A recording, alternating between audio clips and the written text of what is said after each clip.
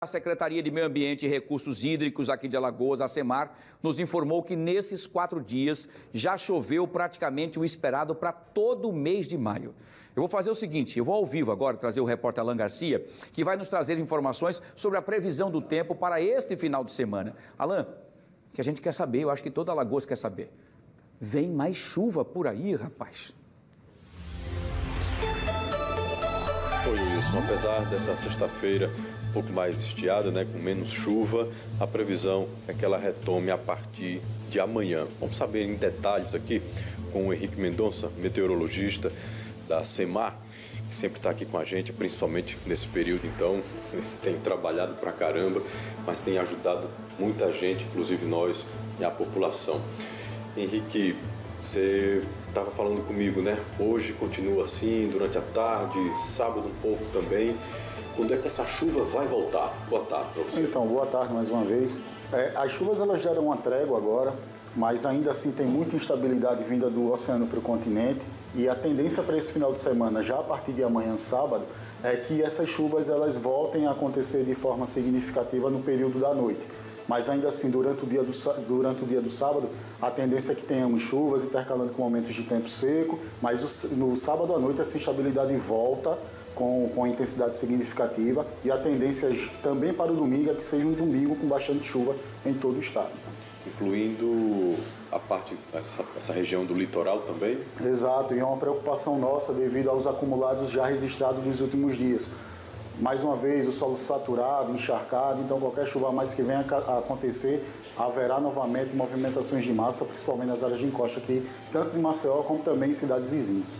A chuva que atinge Pernambuco, Henrique, prejudica a gente, faz chegar mais água nas regiões das lagoas, nos rios que chegam até a gente? Pelo momento, isso acontece, mas agora, no momento, essas chuvas estão concentradas mais na região litorânea do estado. Né? Então, não estão afetando de forma direta as, as nascentes das principais bacias aqui do, da, do Mundaú e Paraíba, que são rios federais que atravessam aqui o estado e que causam problemas. Mas, no momento, essas chuvas estão localizadas no litoral Tá? Então a tendência, mais uma vez, é que tenhamos essa concentração novamente dessas chuvas no litoral e aí afetando principalmente as áreas de encosta. Com essa chuva que você que, que a meteorologia, os satélites estão mostrando que devem chegar principalmente na noite do sábado, chega também nessas regiões de lagoa e de rios.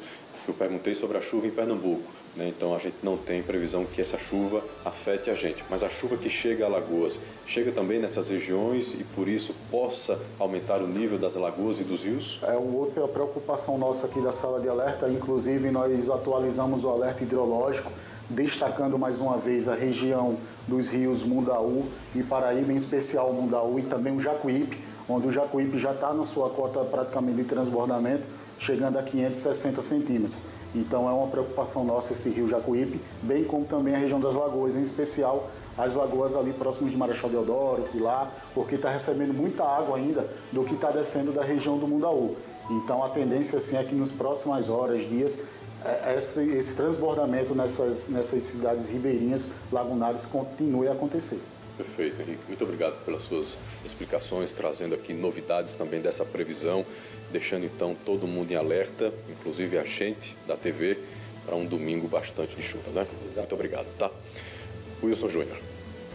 Pois é, Alan, a notícia que nós não queríamos aqui passar, mas é a realidade e a sala de alerta está fazendo exatamente isso, né? fazendo essa, essa antecipação da informação para que todo mundo fique atento e não, não fique sendo pego de surpresa. Nós teremos chuvas bastante fortes, segundo diz aí o meteorologista, no sábado à noite e se estendendo ao domingo. Obrigado, Alan. Agradeço ao Henrique Mendonça também pelas informações.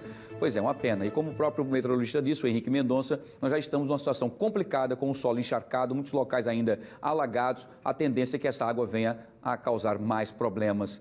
Que Deus nos proteja. Deus nos proteja mesmo. Não está fácil. Não está fácil.